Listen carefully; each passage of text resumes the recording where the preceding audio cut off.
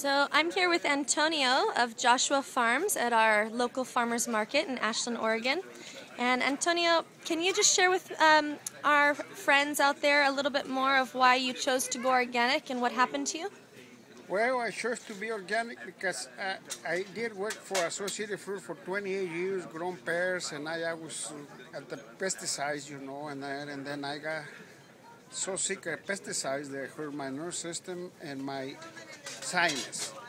So then, 1999, I quit working in the orchard because I was in so much pain. Then I went to the doctor and they you know it hurt my nerve system, my sinus, and then year 2000 I changed to start eating organic, and then I became an or, organic farmer, so that way I can raise all my products, and now I feel great and I can work all day long, two hours if I have to, and I, I have the energy.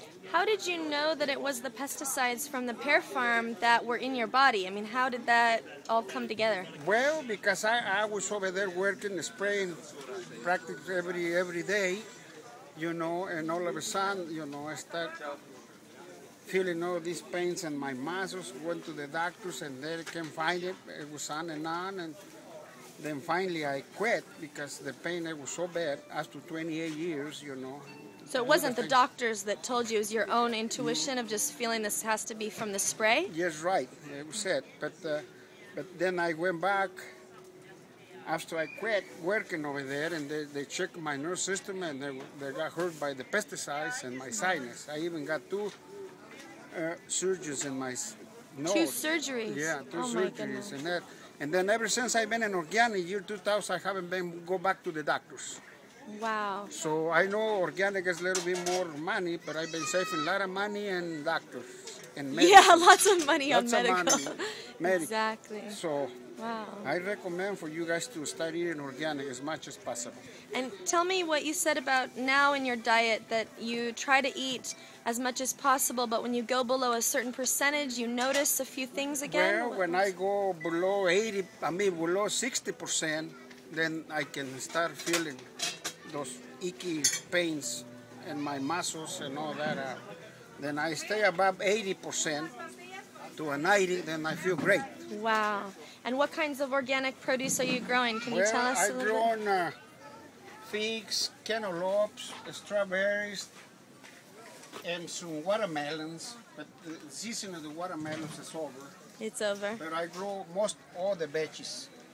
And do you find there there's a, a lot more challenges with growing organic than when you were growing conventional, or similar challenges? Well, or similar challenge. You- You just gotta do different, farm in different ways. You know, you just have to use a lot of compost and organic fertilizers. Mm-hmm. That's it.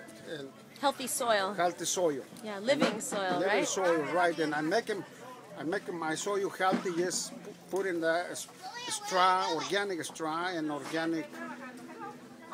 Uh, manures, you know, organic manures. Wonderful. And I scatter those in the fall. And this, the, the, the soil in there and leave it already next for the following year. Right. Then I start Let planting. it season. Then the season, yeah. Then I start planting in May, all the way to September. Wow.